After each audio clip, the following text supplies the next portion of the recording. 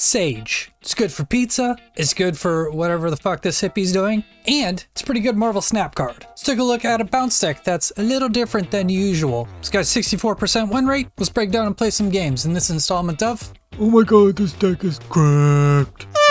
Going on nerds. So the first thing i will point out is yes there is no Hit-Monkey or werewolf by night in this deck. As far as Hit-Monkey goes sage is much easier to get bigger than Hit-Monkey and also cutting mysterio lets us lean into falcon and a bunch of one drops rather than mysterio and hitmonkey and as far as werewolf by night goes yes it just got changed to a 3 energy 1 power card but um it's just difficult to get as big as Sage, and uh, it restricts like where you can play on the board a lot more. It's just not worth it. I don't think it's as good as Sage or Hit-Monkey anymore. Yeah, that's the deck. You play a bunch of one drops, you put them back in your hand, you get a huge hay Sage, you get a bunch of big Rocket Raccoons and Hawkeyes, you win the game. But yeah, it's game time. I like this guy's name. Multiple min enjoyer. Cool, we got Angela, we got the bounce stuff. We are good. Let's just play Hawkeye and Angela and everything out of the throne room. That's fine. Ugh. Alright. Well, I guess we're letting Nebula get a little big. A, a little big, at least for like two turns here. Yep.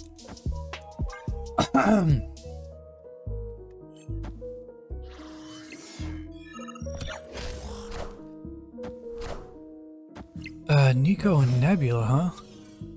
The hell is this? The hell is this? Okay, that's great for us. Ooh, and this is pretty solid too. Um, let's go Nico, Hood, the herd, the herd changes into a demon, and we can bast the throne room stuff back into our hand. Not bad. Okay, yeah, I have no idea what's happening right now.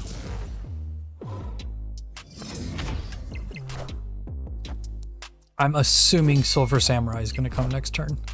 Kind of sucks, but if that's the case, um, then it's going to get rid of Nico, more than likely. Ugh. Do I Elsa and Demon and try to get greedy here? And next turn go Falcon? Sure. If he Silver Samurais, our beast is gone, but we can still play Demon and then spam a bunch of stuff. That's fine. We'll do that.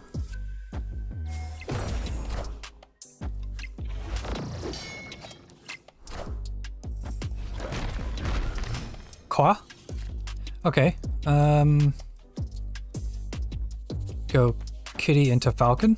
Sure. And uh, let's just throw out the beast just to have some power there. All right, and then we'll have like one, two, three, four, five. Yeah, we'll we'll be able to play everything again.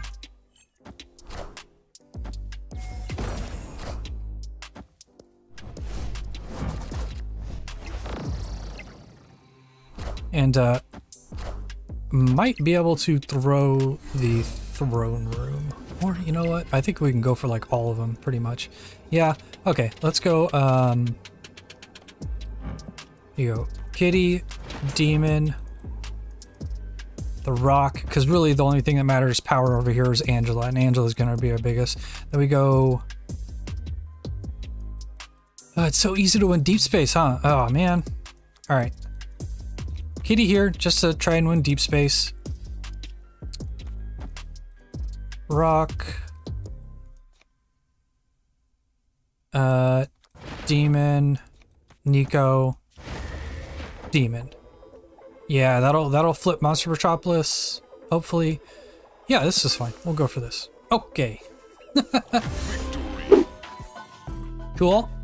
Cool. It's an acceptable hand. Um can't really play Nico without anything good to destroy. It would really suck too if we draw like Angela or Sage next. That would just really, really blow. So we just pass, do nothing.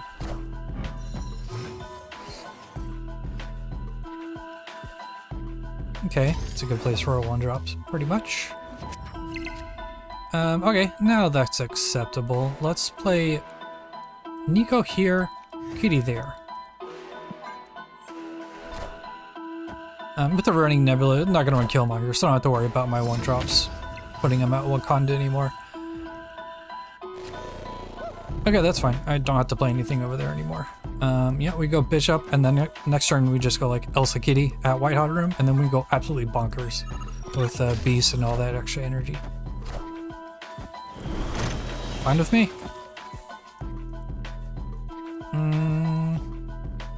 You know what? Screw it. Let's just go Bast. Let's fill up the White Hot Room. Sure. Yeah, I think it's worth it.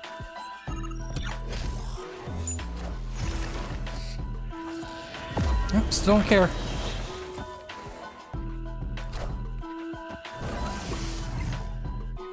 I mean, they're probably gonna have Cannonball, so it is a weak point of the deck, is just the card Cannonball. Um, yeah, let's go Hood, Kitty, Beast, just throw down Hawkeye over there. Stop Nebula from triggering, and if, it's, if it survives, great. Yeah, that sucks. Uh, we can still output some pretty good power in the middle, though. Especially if we draw um, Sage or Angela.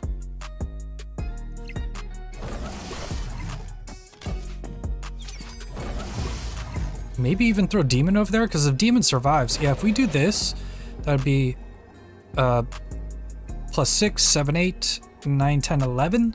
That'll put us over the top at Danger Room. And um, this is still enough power to win in the middle, so we're going to go for this. Alright. Not bad.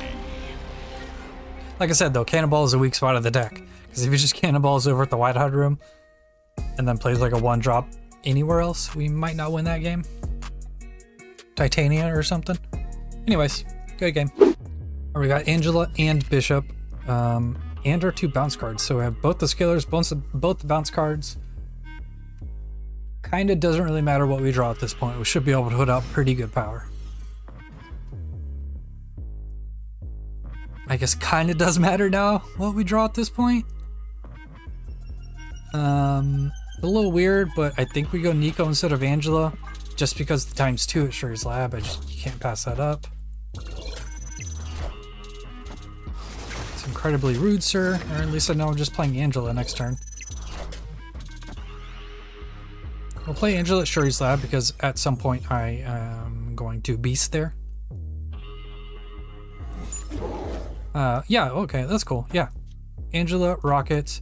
Uh, next turn, we just go Beast at Monster Island or Machine World, even.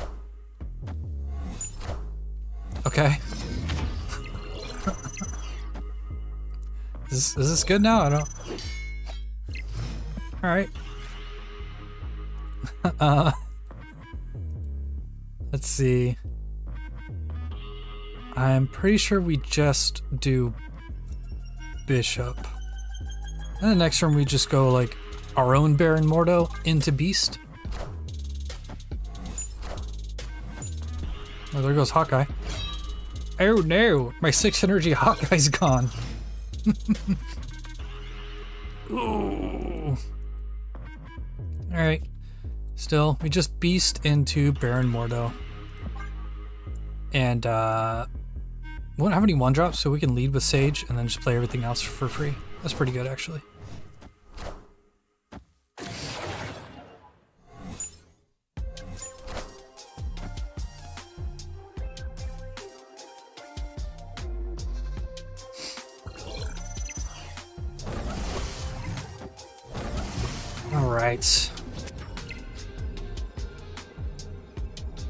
I can just sort of finish Shuri's Lab with Sage.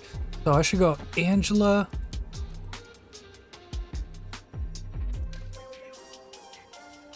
Uh, everything else is free, so Falcon. And then everything else should go over here. That, that. And then this. Yeah. Yeah, yeah, yeah, yeah, yeah, yeah, yeah. It's going to be a big sage, and this is quite a bit of power over there. Yep, let's do it.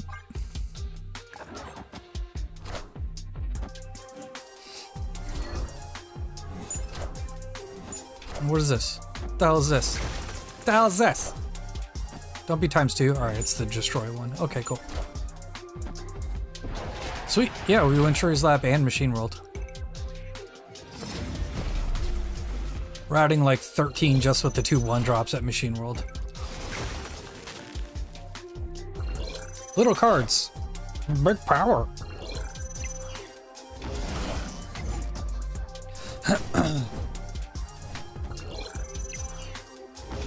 Ching.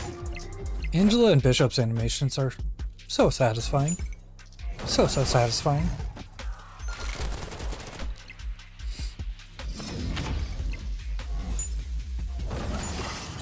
The Sage. How big this gonna get? Man, not that big.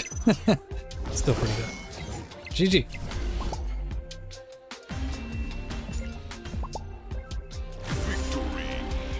Nice. Not nice.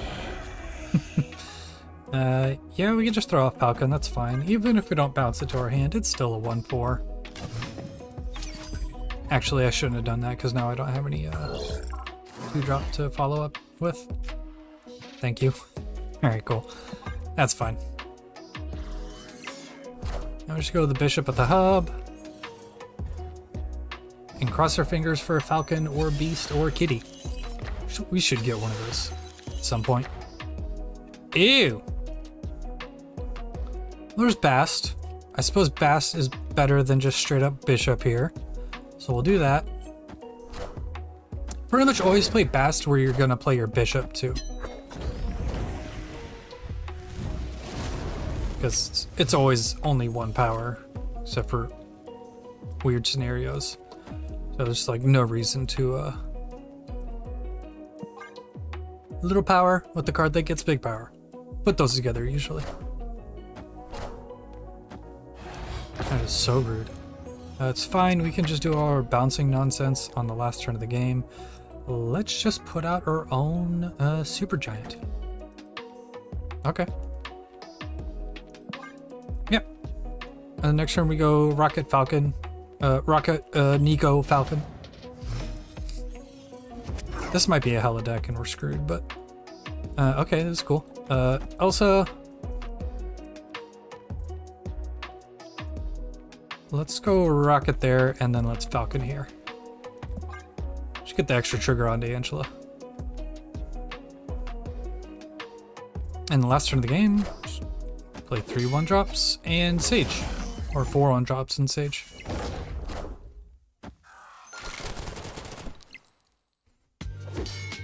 That's a big rocket.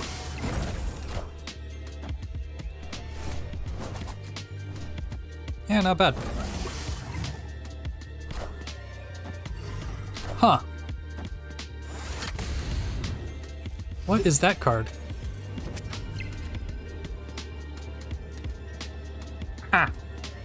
Um. think it's best to play our rocket here.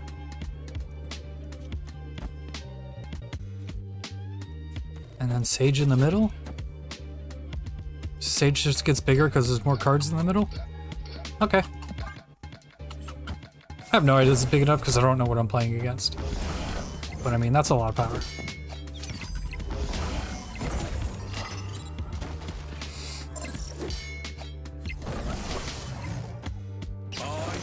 Alright, what the hell is underneath? I mean, there's no way we lose by 15 at the hub. Yeah, okay. Uh, I mean, that's pretty good.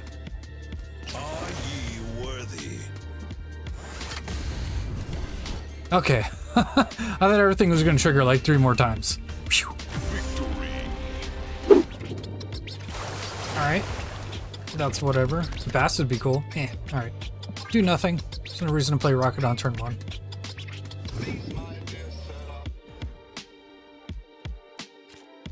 Um, I guess there is reason to play Rocket now, since he's likely to play there. And we have Beast and Falcon, so it's fine. How do you do that? Jeff? Oh, fuck. Of course. Yeah, um, let's just bishop there. Nico with the draw two is pretty good, but I don't think we need to draw anything else. Just our natural draws from here are fine. Okay.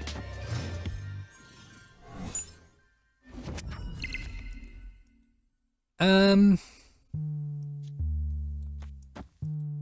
Elsa into Hawkeye, I think, is the best, and we go Falcon in the middle. Yeah, this is good. Kind of sucks we can't get our Nico times two with the uh, into turn buff.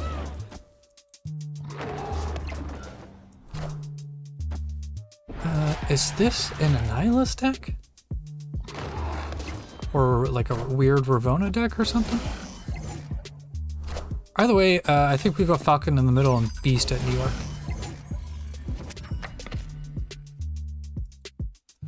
Uh, kind of want to do that and this. Only gives Sage plus four. Um, so yeah, we'll, we'll, I mean, we'll Beast there just to get rid of the Green Goblin. So yeah, let, let's go, um, Falcon, Beast, Nico here. We can just move it to New York if we really want to.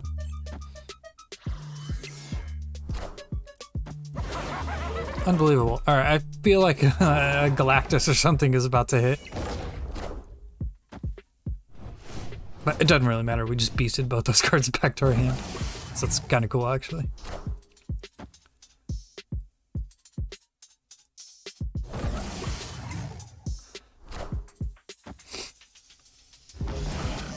Now, I'm just not really sure if I actually move anything. I don't think I move anything.